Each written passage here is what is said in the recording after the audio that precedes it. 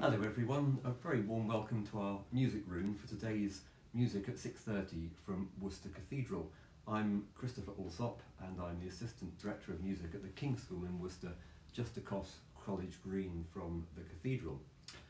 Now, today I was going to play you a big piece of Bach, one of my favourite pieces of Bach's Lenten organ music. Sadly, for technical reasons, I couldn't really get a good enough sound on the Facebook Live broadcast, so I've chosen something else instead, a gentle piece, which seems to come across okay. This is a Tierce en Taille from Couperin's Convent Mass. It's written to be played as the chalice and the host are elevated during the Mass, and it features a, a solo for the left hand with very gentle accompaniment in the right hand. So this is from the Convent Mass written in 1690 or thereabouts.